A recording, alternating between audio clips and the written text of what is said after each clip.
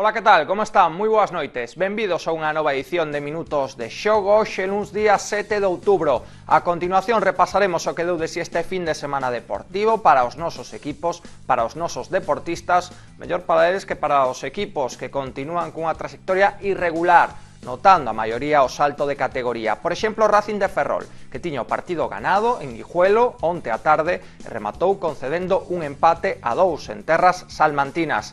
Tampouco lle foron ben as cousas aos nosos equipos femininos de fútbol sala, o Valdetires e o Comarcal a Fervenza. ambos caeron derrotados. Mellores resultados para o Universitario de Ferrol, por exemplo, e tamén para Javier Gómez Noia que continúa cun fin de tempada espectacular.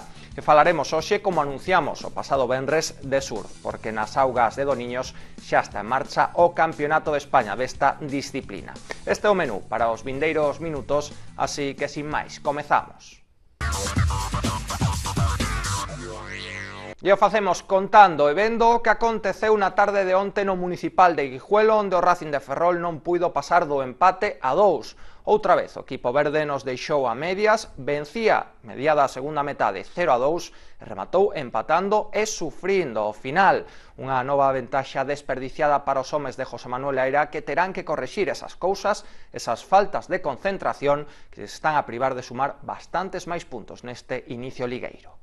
O Racing de Ferrol regresou de Guijuelo co peor sabor de boca de toda a tempada. E mira que no que levamos de Liga lle pasaron cousas, case todas negativas, pero de onte en terras almantinas foi fariña doutro costal. Outra vez máis, os verdes xogaron ben, moi ben durante moitos minutos. Abatáronse o pequeno campo municipal, esta vez si acadaron un botín considerable, un 0 a 2 mediada segunda metade pero nese momento os pros se tornaron en contras, os acertos en erros e a tranquilidade nun nerviosismo incomprensible. O Racing se deixou empatar, perdeu o pulso ao partido e menos mal que sacou un punto. Difícil de explicar e difícil de entender, pero é o que está a ser este inicio de tempada. Pero non por moito repetir se vai a solucionar, Verá que traballar moitos as desconexións que teñen os ferroláns e que están a costar puntos en partidos gañados ante rivais que non demostran ser mellores, pero si sí máis listos. Os primeiros 60-65 minutos teñen un resumo claro e conciso, dominio total e absoluto do Racing. Os nosos semellaban os locais, facéndose as dimensións do campo, tendo o balón, movéndose con criterio e gozando das mellores e únicas ocasións iso cun equipo ofensivo, ben levado desta vez por Iago Iglesias, titular por a baixa de Dani. Pero nome propio foi o dun Jorge Rodríguez recuperado para a causa. Dianteiro cántabro tivo catro oportunidades claras para marcar. Errou dúas e meteu para dentro outro par. A primeira que marcou tras aproveitar un roubo de Iago e un servicio de vela. Corría o minuto 25. O único malo do acto inicial non marchar os vestiarios cunha renta maior, porque opcións para facelo as houbo. Outras veces foi o parón o que baixou as revolucións do Racing. En Guijuelo non. A reanudación non variou o guión e o premio non tardou en chegar. O 53, outra vez Jorge, era o máis atento na área tras un córner para subir o 0 a 2. Os chacineros estaban desesperados e mudaron de cara. Defensa de tres, homes de ataque na procura de algo que nin os seus afeccionados creían. E aí ao Racing lle temblaron as pernas. O primeiro troco desconcierta. Entra Marcos, ben para xogar a contra, pero por Jorge. Máis acertado dos 22 homes, a principal amenaza marchaba a caseta con 25 minutos por xogar. Xusto a continuación, Noguijuelos atopou co 1 a 2 tras un saque de esquina e se lanzou a polo empate. Os faroláns estaban tocados, cada vez con máis defensas e cada vez defendendo peor. No 79 chegou o empate, e a continuación un par de uis máis. Os charros acusaron o esforzo e ao final, co partido máis tolo, ambos equipos chegaron á zona de perigo pero sin acerto. O árbitro asubiou, dous goles para cada un e un punto por bando. Sabor moi agrio do Racing que sigue perdoando vidas e deixándose remontar, por H ou por B.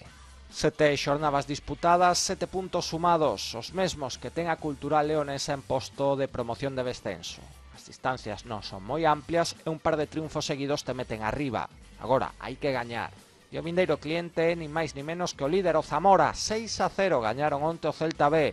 Iso sí, na súa anterior saída caeron por 4 a 0 ante o Compos. Iso dá o mesmo. O Racing sabe que ten que sumar de 3 en 3 e que para logralo ten que evitar os erros e os baixóns inexplicables. Cando faga, os puntos seguro que chegarán. Deixamos momentáneamente aparcados os resultados e nos centramos nas previsións para estes días. Xa no menú de hoxe, no programa do Benres, avanzábamos que o sur a ter un papel protagonista ao longo desta semana en Ferrol. E así vai ser a ocasión o merece. Do Niños alberga por segundo ano consecutivo o Campeonato de España, tanto de surf como do resto de modalidades. Unha proba fundamental no calendario nacional, cunha alta participación e ademais de calidade. Entre eles, unha representación local que buscará facer na casa un bo papel. Ferrol volve a respirar surf. O fará durante esta semana dende onte ata o vindeiro domingo, e que a nosa cidade non é a capital do surf en España por casualidade. A Federación Española ten aquí a súa sede. O presidente é Ferrolán. Temos o Pantín Classic, un número moi alto de escolas que nacen e medran, e ademais as nosas praias cada ano albergan máis competicións por segundo consecutivo o Campeonato de España Terra en Doniños. Dende onte, a actividade xa está a pleno rendemento e continuará así ata o vindeiro domingo día 13. Unha semana completa do mellor surf das súas diferentes modalidades cun cartel de competidores de nivel. Cando, onde, como e quen Todas as preguntas foron respostadas na rolda de prensa que serviu para arrancar con este nacional e que estivo presidida pola Concelleira de Deportes, Susana Martínez, e o presidente da Federación, Carlos García. Unha das cifras a ter en conta é a do número de participantes. O redor de 300 deportistas chegarán a Ferrol, iso máis acompañantes. As previsións falan de medio millar de visitantes durante estes días, o que dá unha dimensión turística, ademais da deportiva, que non se pode obviar. Desde la Concejalía de Deportes quiero felicitar ya por adelantado, y sé que no me voy a equivocar, a la Federación Española de Sur por la organización de este evento, que por descontado traerá a nuestra ciudad un número importante de deportistas. Por eso quiero destacar dos puntos, la importancia del evento deportivo en sí, pero también la importancia de dar a conocer nuestras playas. O campeonato se pode dividir en dous grandes grupos. Primeiro, Comezou onte e remata mañá o campeonato por comunidades autónomas, por equipos, unha disciplina sempre diferente no surf con tradición de ser individual, pero que é moi atractiva. Conxuntos cun máximo de 20 deportistas que sumarán puntos cos cales establecerá a clasificación final. Andalucía, Cantabria, Galicia e Canarias loitarán por ser os mellores nunha proba que regresa tras uns anos de parón. Despois, cada surfista se buscará a vida na competición individual, nas diferentes modalidades e grupos de idade. Non só haberá surf, tamén se xogarán os títulos de bodyboard, longboard ou sup. Así que o menú é moi completo. Entre ese cartel non podía faltar unha completa representación local.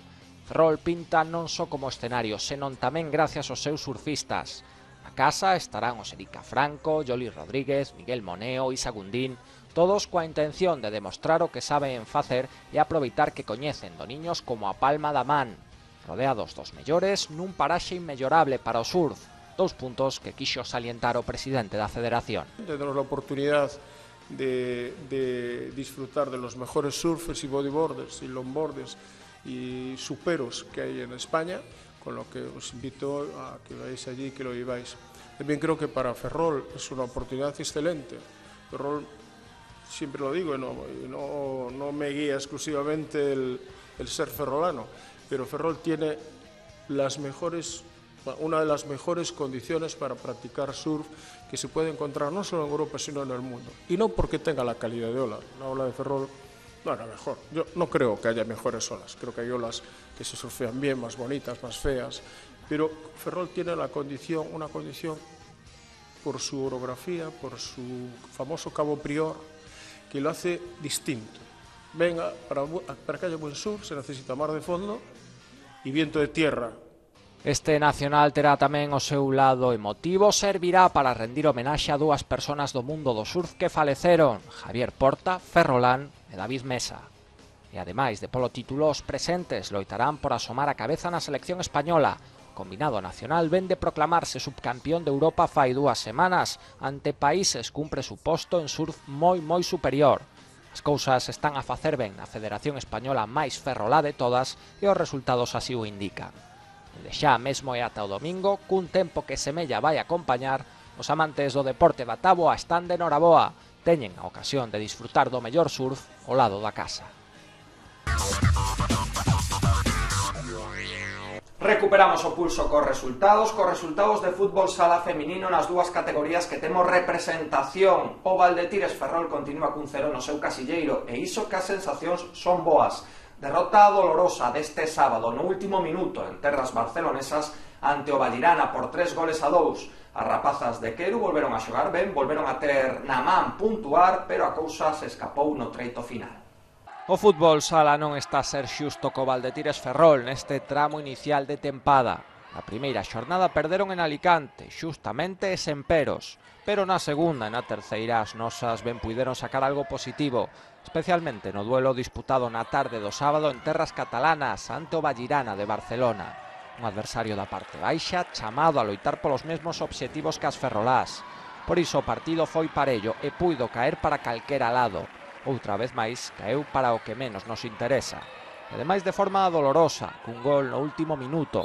3 a 2 para as barcelonesas e mal sabor de boca para a expedición dirixida por Queru, que pese os méritos que acumulou, de como seu casilleiro se mantén en cero unha semana máis, pagando feito de ser novatas na máxima categoría do fútbol sala feminino.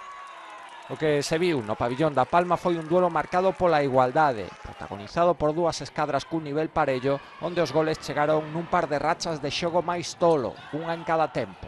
Non tardaron demasiados equipos en probarse, con ese panorama foi o Valdetires o que golpeou primeiro, gracias a un tanto de Erika cando ian 4 minutos de xogo. Sen embargo, a ledicia dura pouco na casa do pobre e sobre iso aprenderon unha lección as verdibrancas o sábado, Dous minutos despois, o Vallirana lograba equilibrar a balanza. Ata o remate do período inicial, intentos en premio dunhas e de outras. Tralo parón, pareceu que as locais gañaran un extra de agresividade. Deron un paso cara adiante e intentaron dominar. As ferrolás puxeron en práctica un guión que dominan, aguantar pechadas atrás e buscar unha contra. Así foi. No minuto 32, Ale conectaba un disparo que servía para subir o 1 a 2 o marcador. De novo Valdetires por diante e de novo non durou demasiado. Xusta continuación, empate.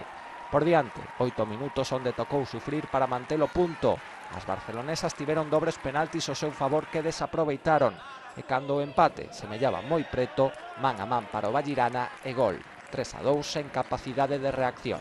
Un golpe duro para as nosas que tiveron os tres puntos, conformábanse con un alo menos, pero regresaron a Ferrol sen ningún. Ese cero que lles impide escapar do último posto da clasificación despois dos tres primeiros partidos. A intención, sumar canto antes, aínda que o calendario non o pon fácil. O primeiro partido será o sábado no pabillón de Esteiro, lugar onde o Valdetires se medirá co fútbol sala Rioxa, o líder con pleno de triunfos. Mal cliente, dende logo. Un equipo que marca pouco, rentabiliza moi ben os goles, pero encaixa menos todavía. Un muro que as xogadoras de Queru terán que superar se desexan rematar coa mala racha. Non será doado, pero arropadas polos seus afeccionados, buscarán dar a sorpresa.